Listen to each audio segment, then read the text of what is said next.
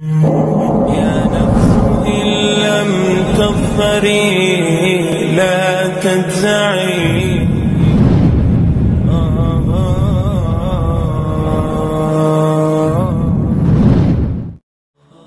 গণতন্ত্রের পতন গণতন্ত্রের উদয়ের পথে খেলাফার রক্তিম সূর্য বিশ্বজুড়ে আজ ঝড়ের বেগে বয়ে যাচ্ছে পরিবর্তনের এক উত্তাল জোয়ার মুসলিম উম্মাহর মনোজগতে ক্রমশ দানা বেঁধে উঠছে, দুনিয়া কাঁপানো এক প্রবল বিস্ফোরণ। সম্ভাবিত হয়ে উঠছে এক প্রলয়ঙ্কারী বুদ্ধিবৃত্তিক জাগরণ। এই উত্থান উম্মাহর বিজয়ের আগাম পয়গাম। এই জাগরণ ইসলামী খেলাফার পূর্বাভাস। সময়ের পথ পরিক্রমায় আমরা দেখতে পাচ্ছি কোরআনুল করিমের সেই দীপ্ত ঘোষণার নিখুঁত বাস্তবায়ন। ইউরিদুন লিউতফিউ নূরাল্লাহি বিআফওয়াহিহিম, ওয়াল্লাহু মুতিম্মু তারা মুখের ফুৎকারে আল্লাহর আলোকে নিভিয়ে দিতে চায়। কিন্তু আল্লাহ তাআলা তার আলো পূর্ণরূপে উদ্ভাসিত করবেন, যদিও কাফিররা তা অপছন্দ করে। রাসূলাহু বিল হুদা মুশরিকুন। তিনিই তার রসুলকে প্রেরণ করেছেন হেদায়ত সত্য দিন সহ সকল দিনের ওপর তাকে বিজয়ী করার জন্য। যদিও মুশরিকরা তা অপছন্দ করে। প্রিয় ভাই বোনেরা আজ আমরা আলোচনা করব ইসলামী খেলাফার পরিচয় ও বৈশিষ্ট্য, ইতিহাস ও ঐতিহ্য এবং একবিংশ শতাব্দীতে ইসলামী খেলাফার উত্থান নিয়ে। ইসলামী খেলাফার পরিচয়। খেলাফা হলো এমন একটি ইসলামী শাসন ব্যবস্থা যেখানে একজন মুসলিম শাসক রসুল্লাহ সাল আলী হোসাল্লামের প্রতিনিধি হিসেবে ইসলামী শরিয়াহ বাস্তবায়ন করেন এবং দিন ও দুনিয়া উভয় ক্ষেত্রেই মুসলিম মহর অভিভাবকের দায়িত্ব পালন করেন। খেলাফাহ ব্যতীত দিনে ইসলাম তার স্বকীয়তা ও পূর্ণাঙ্গতা ধরে রাখতে পারে না। কেননা খেলাফার অনুপস্থিতিতে শরিয়া শাসন না থাকার কারণে ইসলামের এক বিরাট অংশের ওপর আমল করা অসম্ভব হয়ে পড়ে। মুফাক্কিরে ইসলাম সৈয়দ আবুল হাসান আলী নদবী রহমাহুল্লাহ বেশ স্পষ্ট ভাষায় বিষয়টি বুঝিয়েছেন। তিনি বলেন, অত্যন্ত গুরুত্বপূর্ণ একটি বিষয় হল শরীরী শাসন ছাড়া পূর্ণ শরিয়ার উপর আমল করা সম্ভব নয়। ইসলামী জীবন ব্যবস্থার একটি স্বতন্ত্র অংশ এমন রয়েছে যার উপর আমল করতে হলে ইসলামী রাষ্ট্র ব্যবস্থার বিকল্প নেই। ইসলামী শাসন ব্যবস্থার অনুপস্থিতিতে কোরআনের একটি বড় অংশ আমলের উপযুক্ততা হারায়। খোদ ইসলামের সুরক্ষা ও শক্তি ছাড়া অসম্ভব। উদাহরণস্বরূপ, ইসলামের অর্থ ব্যবস্থা ইসলামী আইন ও বিচার ব্যবস্থা, এর কোনোটাই ইসলামী শাসন ছাড়া বাস্তবায়ন করা সম্ভব নয়। তাই কোরআন শক্তি সঞ্চয় ও বিজয় অর্জনের ওপর খুব গুরুত্বারোপ করেছে। এই জন্য ইসলামী খেলাফাহ অত্যন্ত পবিত্র ও গুরুত্বপূর্ণ বিষয়। সাহাবারা খেলাফাহকে রসল্লাহ সাল আলী হাসাল্লামের দাফন কাফনের চেয়েও গুরুত্বপূর্ণ মনে করেছেন। অনেক স্বল্পবুদ্ধির লোক এ বিষয়টি অনুধাবন করতে পারে না। এ খেলাফার হেফাজতের জন্য ইমাম হোসেন রদিয়াল্লাহ আনহু কোরবানি পেশ করেছেন, যাতে খেলাফার উদ্দেশ্য ব্যর্থ না হয়ে যায়। অযোগ্য লোকের হাতে খেলাফাহ চলে না যায়। ইসলামী খেলাফাহ ছাড়া একটি সুখী ও সমৃদ্ধ উম্মাহর অস্তিত্ব কল্পনাও করা যায় না। কারণ খেলাফাই মুসলিম উম্মাহর অভিভাবক, খেলাফাই মুসলিম উম্মাহর শান্তি, সমৃদ্ধি ও নিরাপত্তার জামিন। আজ গোটা পৃথিবীতে মুসলিম উম্মাহর পরাজয় ও লাঞ্ছনার মূল কারণ খেলাফার অনুপস্থিতি। খেলাফা উম্মাহর প্রতিটি মুসলিমের নিরাপত্তা নিশ্চিত করে। পৃথিবীর যে কোনো প্রান্তেই কোনো মুসলিম আক্রান্ত হলে খেলাফা সঙ্গে সঙ্গে গর্জে ওঠে। কেবল মুসলিম উম্মাহর জন্য নয়, গোটা পৃথিবীর শান্তি শৃঙ্খলা ও সমৃদ্ধির জন্য ইসলামী খেলাফার কোনো বিকল্প নেই। যখন থেকে আল্লাহর এই জামিন আল্লাহর আইন থেকে বঞ্চিত হয়েছে, ইসলামী খেলাফাহ থেকে বঞ্চিত হয়েছে, তখন থেকে এই জামিন এই মানব জাতি ধ্বংস বরবাদের দিকে যাত্রা করেছে। আজ পুঁজিবাদী অর্থনীতির খপ্পরে পড়ে গুটি কয়েক মানুষের হাতে পুঞ্জীভূত হয়ে উঠেছে গোটা বিশ্বের সম্পদ। দিন দিন সম্পদের এই বৈষম্য বেড়েই চলছে। এই প্রক্রিয়া চলতে থাকলে একসময় গোটা পৃথিবীর সব মানুষ মুষ্টিমেয় কয়েকজন পুঁজিপতির গোলামে পরিণত হবে। জেনাবে বিচার বেহায়াপনা আর অশ্লীলতার সয়লাবে ভেসে গেছে গোটা পৃথিবী। এই অবস্থা চলতে থাকলে একসময় মানুষের পশুতে পার্থক্য করা মুশকিল হয়ে যাবে। পরিণামে মানুষের বসবাসের অনুপযুক্ত হয়ে উঠবে এই পৃথিবী। তাই পৃথিবীতে মানবজাতির অস্তিত্ব রক্ষা ও সুষ্ঠু বিকাশের জন্য প্রয়োজন ইসলামী খেলাফা। প্রয়োজন আল্লাহর জমিনে আল্লাহর আইন বাস্তবায়ন। ইসলামী খেলাফার গুরুত্ব ও তাৎপর্য নিয়ে আমরা অন্য কোনো ডকুমেন্টারিতে আলোচনা করবে ইনশাআল্লাহ। ইসলামী খেলাফার ইতিহাস। ইসলামী খেলাফার ইতিহাস ছয়শো বাইশ সাল থেকে উনিশশো চব্বিশ সাল পর্যন্ত প্রায় তেরোশত বছর জুড়ে বিস্তৃত। এই সংক্ষিপ্ত পরিসরে এত দীর্ঘ ইতিহাস তুলে ধরা সম্ভব নয়। আমরা কেবল সংক্ষেপে একটি ধারণা দেওয়ার চেষ্টা করব মাত্র। ছয়শো বাইশ সালে রসুল্লাহ সাল্লাহ আলী হাসাল্লামের হিজরতের মাধ্যমে মদিনাতুল মোনাওয়ারায় গোড়াপত্তন ঘটে ইসলামী রাষ্ট্রের। এরপর দশ বছর রিসালাতের স্বর্ণযুগ। এই দশ বছরে রসুল্লাহ সাল্লাহ আলী হাসাল্লামের মোবারক তত্ত্বাবধানে জাজিরাতুল আরবে রচিত হয় ইসলামী খেলাফার মজবুত ভিত। ছয়শো সালে প্রিয় নবী সাল্লাহ আলী হাসাল্লামের ওফাতের মধ্য দিয়ে অবসান ঘটে সর্বশ্রেষ্ঠ এই যুগের। তারপর থেকে শুরু হয় খেলাফার যুগ। ছয়শো বত্রিশ সাল থেকে ছয়শো একষট্টি সাল পর্যন্ত খেলাফতের আসে তার সোনালী যুগ। এই তিরিশ বছরে খলিফা হিসেবে দায়িত্ব পালন করেন ইসলামের মহান চারজন খলিফা, সৈয়দনা আবু বকর সিদ্দিক অমর বিন খত্তাব, ওসমান বিন আহফান ও আলী বিন আবু তালিব রদিয়াল্লাহ আনহুম। তাদের খেলাফতকাল মানবজাতির ইতিহাসে এক বিস্ময়কর অধ্যায়।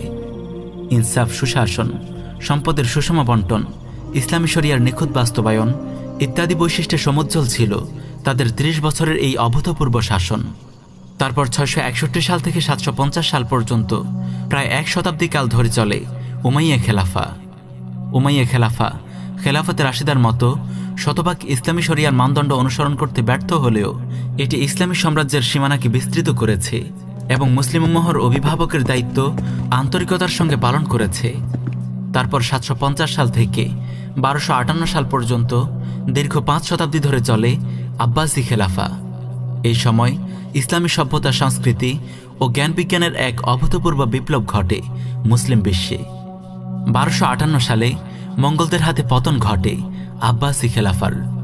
তারপর মিশরের মামলক শাসকদের দ্বারা পুনরায় স্বল্প পরিসরে আব্বাসি খেলাফা প্রতিষ্ঠিত হয়। পনেরোশো সালে মিশরের আব্বাসি খলিফা আহমদ মুতাওয়াক্কিলের হাত থেকে উসমানীয় সাম্রাজ্যের সুলতান প্রথম সালিমের হাতে খেলাফা স্থানান্তরিত হয়। মুসলিম উম্মহর গৌরবোজ্জ্বল ইতিহাসের এক বড় অংশ জুড়ে আছে ওসমানী খেলাফা। একাধারে ছয়শো ছত্রিশ বছর ধরে এই খেলাফা এশিয়া, ইউরোপ ও আফ্রিকার বিস্তৃত অঞ্চলের মানুষের কল্যাণের উৎস হিসেবে ভূমিকা পালন করেছে। উনিশশো চব্বিশ সালে সাম্রাজ্যবাদী শক্তি ও ইহুদিদের যৌথ চক্রান্তে খেলাফতের সমাপ্তি ঘটে। খেলাফতের পতন পরবর্তী বিশ্ব পরিস্থিতি। যতদিন খেলাফাহ ছিল, মুসলিম ভূখণ্ডগুলোর নিরাপত্তা ছিল। যতদিন খেলাফাহ ছিল, মুসলিম উম্মাহর ইজ্জত, সম্মান ও জানমালের নিরাপত্তা ছিল। যতদিন খেলাফাহ ছিল, উম্মাহর নারীদের দিকে চোখ তুলে তাকানোর সাহসও কেউ করেনি কিন্তু খেলাফার পতনের পর, উম্মাহর জীবনে নেমে আসে এক ঘোর কালো রাত। কুফার গোষ্ঠী, মুসলিম ভূখণ্ডগুলোর এক বড় অংশ নিজেদের মধ্যে ভাগবটোয়ারা করে নেয়। তারপর জাতীয়তাবাদের ধোঁয়া তুলে বাকি ভূখণ্ডগুলোকেও অসংখ্য ছোট ছোট রাষ্ট্রে বিভক্ত করে আর সবার হাতে ধরিয়ে দেয় এক একটি রং বেরঙের পতাকা। সেই সঙ্গে নতুন রাষ্ট্রগুলোর ওপর চাপিয়ে দেয় তাদের পোষা মোরতাদ শাসক গোষ্ঠী। এভাবে তারা শততা বিভক্ত মুসলিম মহর পায়ে পরিয়ে দেয় গোলামের শিকল। উনিশশো পঁয়তাল্লিশ সালে সম্মিলিত কুফার জোট জাতিসংঘ নামের এক শয়তানি সংঘ প্রতিষ্ঠা করে। এই শয়তানি সংখ্যকে কেন্দ্র করে তারা একটি দাজ্জালি বিশ্ব ব্যবস্থা গড়ে তোলে। এরপর থেকে মুসলিম মহর জীবনে শুরু হয় এক কঠিন দুর্দিন। জাতিসংঘের প্রত্যক্ষ মদদে মুসলিমদের প্রথম কেবলা বাইতুল মাকদিস দখল করে নেয় অভিশপ্ত ইহুদিরা। কুফার গোষ্ঠীর সামরিক আগ্রাসনে ক্ষতবিক্ষত হতে থাকে একের পর এক মুসলিম ভূখণ্ড। আরাকান কাশ্মীর, ফিলিস্তিন, আফগান, ইরাক, ইয়েমেন, সিরিয়া, পূর্ব তুর্কিস্তান সহ পৃথিবীর প্রায় সব মুসলিম জনপদেই বয়ে যায় রক্তের বন্যা। সামরিক আগ্রাসনের পাশাপাশি চলে ইহুদি নিয়ন্ত্রিত দাজ্জালি মিডিয়ার বুদ্ধিবৃত্তিক ও সাংস্কৃতিক আগ্রাসন। ফলে মুসলিম মহর ইমান আকিদা ও আমলের ভিতর নড়বড় হয়ে ওঠে। তাদের মন মগজে বাসা বাঁধে পরাজিত মানসিকতা। এভাবে আশা নিরাশার দোলাচলে দোল খেতে থাকে মুসলিম মহর ভাগ্য। ইসলামী খেলাফার পুনরুত্থান। কুফার গোষ্ঠী মুসলিমদের ওপর সাময়িকভাবে বিজয়ী হলেও ইসলামের কাছে তারা চরমভাবে পরাজিত হয়েছে। ইসলাম আজও তার আপন মহিমায় সমুজ্জ্বল। আজও পৃথিবীর বুকে আলো ছড়াচ্ছে কোরআন সন্ন্যাহর বিশুদ্ধ বাণী। আজও ইসলাম টিকে আছে তার সামগ্রিক বিশুদ্ধতা নিয়ে। সহি বোখারিতে এসেছে রসুল্লাহ সাল আলী হোসাল্লাম ইরশাদ করেন আল ইসলাম ইয়া আলু ওয়ালা ইসলাম সব কিছুর ওপর বিজয়ী থাকে, ইসলামের ওপর কিছুই বিজয়ী হতে পারে না। আর মুসলিমদের এই সাময়িক পরাজয়ও বেশি দিন স্থায়ী হয়নি। খেলাফার পতনের শতবর্ষও পার হয়নি। উম্মাহর জিন্দাদের সিংহরা গর্জে উঠেছে তাগতি বিশ্ব ব্যবস্থার বিরুদ্ধে, মানবরচিত সকল বাতিল মতবাদের বিরুদ্ধে। উনিশশো সতেরো সালে রুশ বিপ্লবের মধ্য দিয়ে প্রবল শক্তি নিয়ে আত্মপ্রকাশ করেছিল সমাজতন্ত্র। দ্বিতীয় বিশ্বযুদ্ধের পর পুঁজিবাদের সঙ্গে রীতিমতো রাজনৈতিক, সামরিক, অর্থনৈতিক, সাংস্কৃতিক ও মনস্তাত্ত্বিক লড়াইয়ে জড়িয়ে পড়ে সমাজতন্ত্র। উনিশশো উনআশি সালে আফগান আক্রমণ করে তৎকালীন সুপার পাওয়ার সমাজতান্ত্রিক সোভিয়েত ইউনিয়ন। উদ্দেশ্য, আফগানে কমিউনিস্ট শাসন প্রতিষ্ঠা করা। কিন্তু আফগানের মতো একটি মুসলিম ভূখণ্ডে রাশিয়ার এই বর্বর আগ্রাসনকে কেন্দ্র করে ফুঁসে ওঠে গোটা মুসলিম উম্মা। বিশেষ করে আরব তরুণরা জিহাদ ফি সাবিরিল্লার পতাকা হাতে দলে দলে পাড়ি জমায় আফগানের পাহাড়গুলোতে। আরব ও আফগান মুজাহিদদের প্রবল গর্জনে সুপার পাওয়ার রাশিয়ার কলিজা পর্যন্ত কেঁপে ওঠে। নাসরুম মিনাল্লাহ ওয়াফাতহন করিব স্লোগানে মুখরিত হয়ে ওঠে, পৃথিবীর আকাশ বাতাস। জিহাদ ফি সাবিলিল্লার আসমানি ঝড়ে, ভেঙে চুরমার হয়ে যায়। সমাজতন্ত্রের ধ্বজাধারী, কথিত সুপার পাওয়ার। প্রায় এক যুগের কিতাল ফি সাবিলিল্লার বরকতে উনিশশো একানব্বই সালে সোভিয়েত ইউনিয়নের বিলুপ্তি ঘটে। সেই সঙ্গে কবর রচিত হয়, জাহিলি মতবাদ সমাজতন্ত্রেরও। খেলাফার পতনের মাত্র পঞ্চাশ বছরের মাথায় আরব আফগান মুজাহিদদের এমন প্রবল উত্থানে গোটা মুসলিম উম্মাহ যেন নতুন করে প্রাণ ফিরে পায়। উনিশশো চব্বিশ সালে খেলাফার পতনের মাত্র পঞ্চান্ন বছর পর এটি ছিল তাগতি বিশ্ব ব্যবস্থার বিরুদ্ধে মুসলিম উম্মাহর প্রথম বিজয়। এই খোরাসান বিপ্লবকেই বলা যায় খেলাফার পুনরুত্থানের সূচনা বিন্দু এই বিপ্লবের মাধ্যমেই উম্মাহ বুঝতে পারে কোনো মানবরচিত তন্ত্রমন্ত্র নয় খেলাফাহ পুনরুদ্ধার করার একমাত্র পথ এরাদাদ ও জিহাদ ফি সাবিলিল্লাহ। উম্মাহর সুখ ও সমৃদ্ধি ফিরিয়ে আনার একমাত্র উপায়, জিহাদ ফি সাবিলিল্লাহ। উম্মাহর হারানো গৌরব ও সম্মান ফিরিয়ে আনার একমাত্র উপায়, জিহাদ ফি সাবিলিল্লাহ। কথিত সুপার পাওয়ার রাশিয়ার পতনের পর, নব্বইয়ের দশকে ইসলামী খেলাফার স্বপ্নদ্রষ্টা মুজাহিদ নেতৃবৃন্দ নতুন উদ্যমে ঝাঁপিয়ে পড়ে ইয়াদাদ ও জিহাদের এক নতুন ময়দানে। খেলাফাহ পুনরুদ্ধারের লক্ষ্যে তারা এক দীর্ঘমেয়াদী পরিকল্পনা গ্রহণ করে, কীভাবে জাতিসংঘ কেন্দ্রিক তাগতি বিশ্ব ব্যবস্থাকে গড়িয়ে চুরমার করে, তার ধ্বংসাবশেষের ওপর ইসলামী খেলাফার নিশান ওড়ানো যায়। সোভিয়েত ইউনিয়নের পর নতুন সুপার পাওয়ার হিসেবে আবির্ভূত হয় কুফরি গণতন্ত্রের ধ্বজাধারী মার্কিন যুক্তরাষ্ট্র। তাই উম্মাহর জিন্দাদিল মুজাহিদরা সাপের মাথা মার্কিন যুক্তরাষ্ট্রকেই টার্গেট করে। নাইন ইলেভেনের মোবারক হামলার মাধ্যমে তারা জড়িয়ে পড়ে খেলাফাহ প্রতিষ্ঠার এক অসম লড়াইয়ে। আল্লাহর কতিপয় জানবাজ সৈনিকদের এই দুর্বার অভিযান তাগতি বিশ্ব ব্যবস্থার মর্মমূল পর্যন্ত কাঁপিয়ে তোলে। এই হামলার মাধ্যমে সাপের মাথা মার্কিন যুক্তরাষ্ট্রকে তার নিরাপদ অবস্থান থেকে বের করে টেনে আনা হয় আফগানের পাহাড়ে, আফ্রিকার মরুতে এবং মধ্যপ্রাচ্যের চোরাবালিতে। মুজাহিদদের পছন্দ অনুযায়ী ভূমিতে যুদ্ধ করতে তাকে বাধ্য করা হয়। নাইন ইলেভেনের মোবারক হামলার জবাবে দু হাজার এক সালের সাতই অক্টোবর আমেরিকা তার ন্যাটো মিত্রদের নিয়ে আফগান আক্রমণ করে। দীর্ঘ আঠারো বছরের প্রলয়ঙ্কারী যুদ্ধে লজ্জাজনকভাবে হেরে যায় মার্কিন যুক্তরাষ্ট্রসহ ন্যাটোজোটভুক্ত বিশ্বের শক্তিধর উনচল্লিশটি রাষ্ট্র।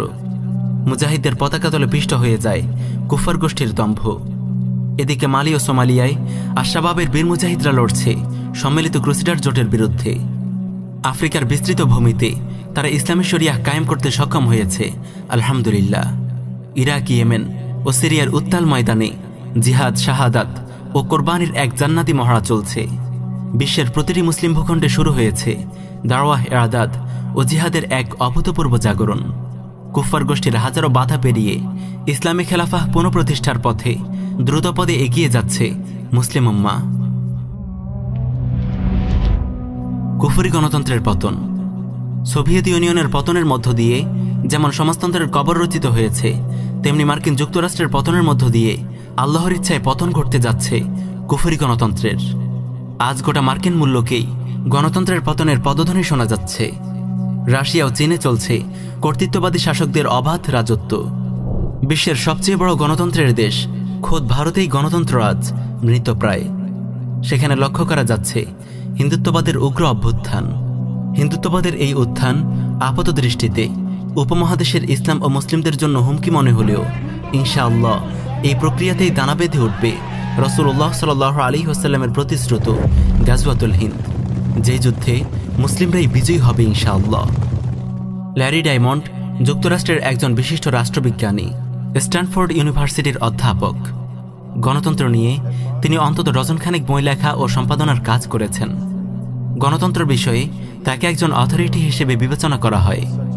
গণতন্ত্র নিয়ে তার সম্প্রতি প্রকাশিত ও আলোচিত বইয়ের শিরোনাম ill winds saving democracy from Russian rage Chinese ambition and American complacency বইটিতে বিশ্বের গণতান্ত্রিক মন্দাদশায় উদ্বিগ্ন ডায়মন্ড লিখেছেন, আমরা ক্রান্তিকালে রয়েছি, এমন বলা খুব ক্লেশে শোনায়, কিন্তু এটিই বাস্তবতা।